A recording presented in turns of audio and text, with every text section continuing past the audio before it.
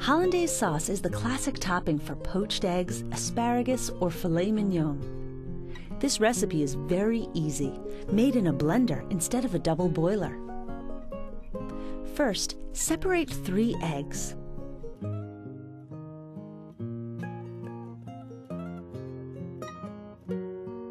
Next, heat half a cup of butter just to a bubble.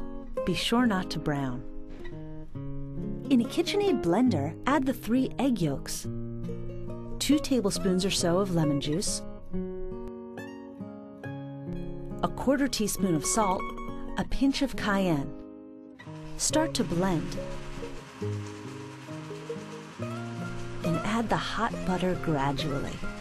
Blend for about 15 seconds or until the sauce is thick and smooth. Hollandaise sauce.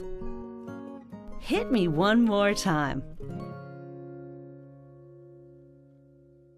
Go to holidaykitchen.tv for a cornucopia of delicious video recipes.